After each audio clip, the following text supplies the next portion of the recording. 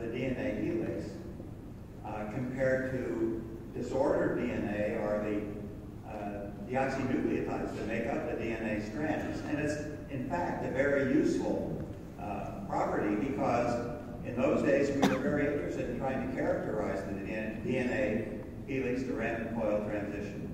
And the hyperchromic effect made this very easy to do. One could simply observe at the DNA become disordered by the increase in UV uh, absorption.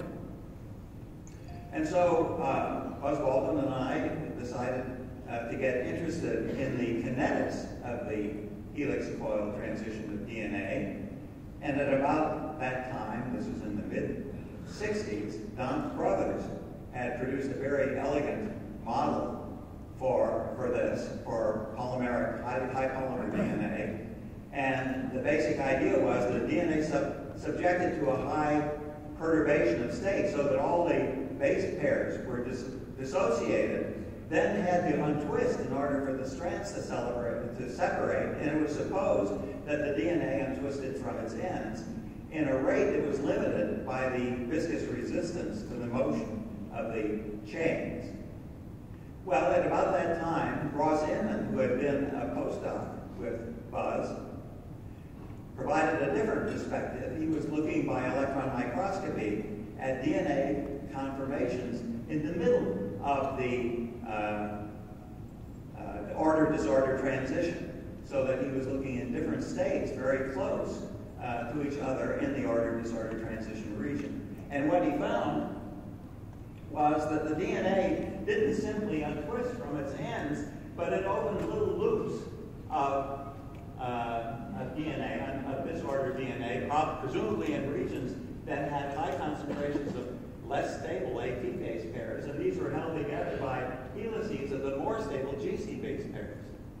We thought it would be interesting to see if we could measure the rate of untwisting in small of untwisting of small numbers of loops.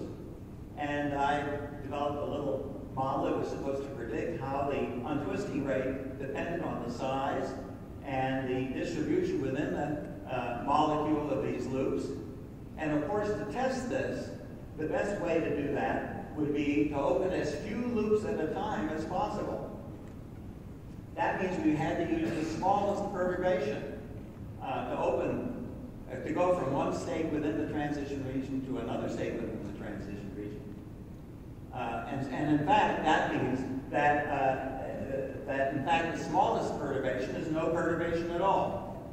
So the question then became, could we measure fluctuations in helix coil content in DNA that was resting in equilibrium? Well, at about that time, there was quite a lot of interest in the possibility of looking at the kinetics of chemical reaction resting in their equilibrium state by looking at fluctuations about equilibrium using dynamic light scattering.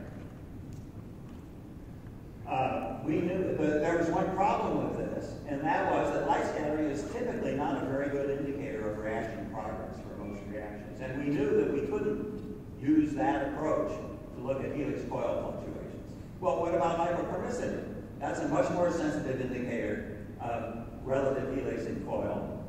But even there, we concluded that it wasn't sensitive enough for us to be able to, helix coil, to look at helix coil fluctuations. This was when I first moved to Cornell to take up my first job in the chemistry department there. And when I got there, uh, talking to people about trying to do helix coil fluctuations, people advised me to get in touch with Watt Webb in the applied physics department. That was truly excellent advice. And Watt and I uh, both became interested then in the helix coil fluctuation problem.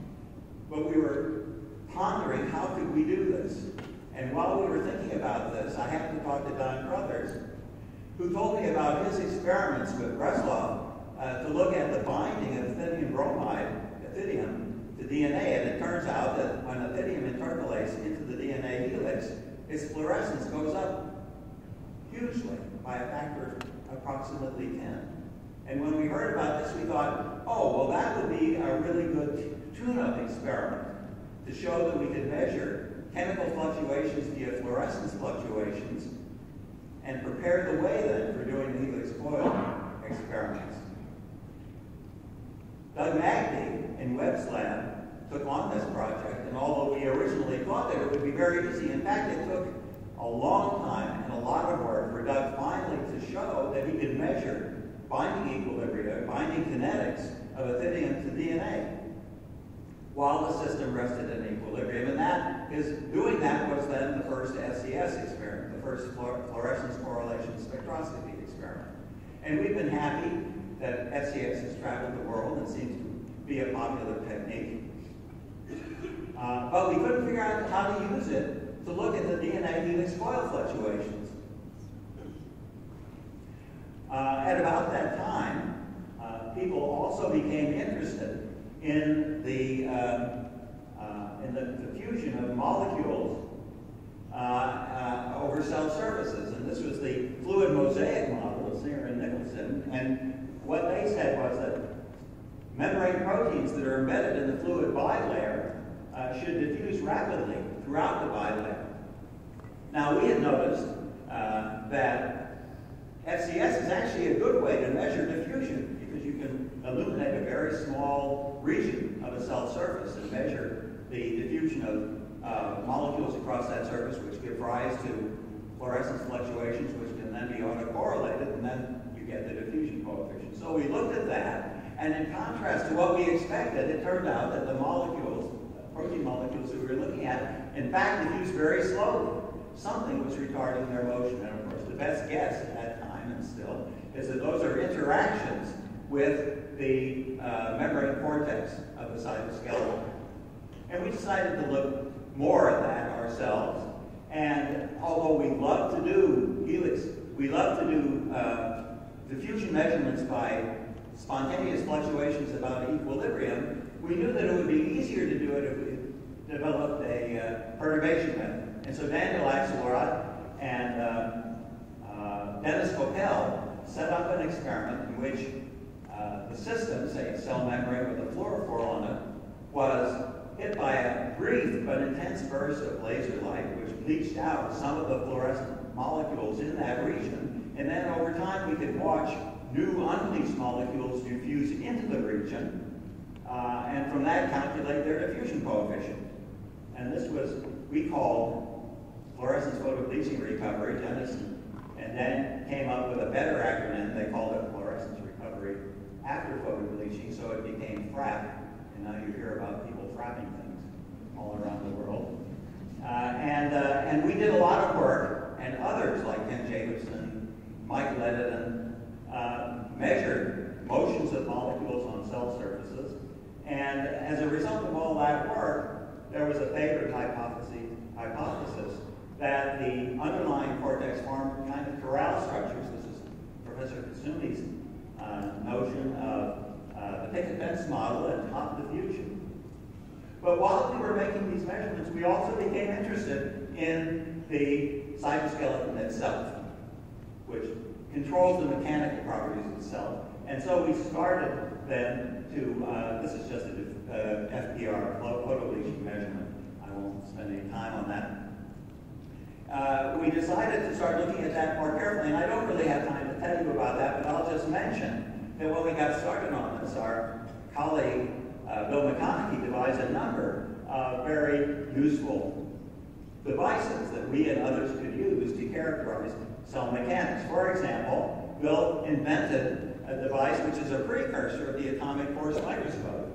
So that a little probe indented a cell adherent to a substrate, and you can measure the force versus stiffness, the, the force versus indentation, which gives you the stiffness of the cell.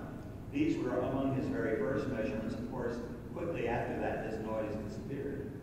And then, there, and then another thing that happened around a little later than that was that Michael Kolodney, an MD PhD student, introduced this tissue engineering so that we were able to make collagen gels with cells embedded in it. And, uh, and uh, Bill McConnaughey again came to the rescue and devised a system in which we could take these little tissue constructs with cells in them and measure them to determine uh, force versus uh, strain behavior to give us the stiffness uh, of, the, of the conformation. We could also uh, look at the increase in the contractility uh, of, the, of the tissue when myosin was activated in these cells.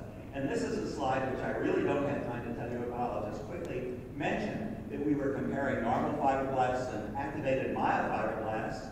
And this is a normal fibroblast, which is being stretched, and you see there's almost no increase in force. They're very unstiff, soft, that is. Uh, whereas, uh, or wait, no, that's, that's over here. The, the normal fibroblasts uh, have a much lower stiffness than the myofibroblasts. And here we were activating with uh, some myosin activator. I can't remember which one, have been uh, or something like that. The normal fibroblasts barely develop any contractile force. The myofibroblasts develop a lot of contractile force. So uh, these are the kinds of measurements that we're still doing. And we've been very lucky to be able to collaborate with Guy Genin, who's one of those rare people who knows both a lot of mechanics and a lot of biology. And he has been kind enough to uh, provide us with a home after I closed down my lab. And so, um, and so uh, I and other people that I've worked with uh, continue to try to look at these mechanical things. We're looking at how individual cells remodel the collagen matrix. That's work of um, uh, Shakiba. And then Tony Price, I hope at least some of you saw his poster, is developing a new form of correlation spectroscopy, uh, reflectance correlation spectroscopy, which we hope will be quite useful. Well, uh, I have to stop now. I wish I could go on for another hour and tell you about this work. Uh, uh, but, but I do need to say uh, that I'm very grateful to Guy for allowing us to continue to work, and I hope we can continue to work much longer. And also to the many people with whom I work, as you all know, because you do the work, uh, that none of this could have been done without the co-workers who actually did the work. And uh, so I think uh, at that point, oh, there's one thing I forgot to mention, and that is that while we were while we were uh, developing FCS, uh, Magde and Webb and I uh, at Cornell, Rudolf Riedler and uh, Rudolf Rigler and Manfred Eigen developed another form of FCS, uh, something like FCS. And Rudolf then went on to do a huge amount of really interesting work using both fluctuation spectroscopy and other methods. And so I recommend Rudolf Rigler to anyone who's interested in looking at that. But at this point, I really have to stop. so I want to thank, sorry, I probably went too long. So I want to uh, thank you and thank the Biophysical Society again.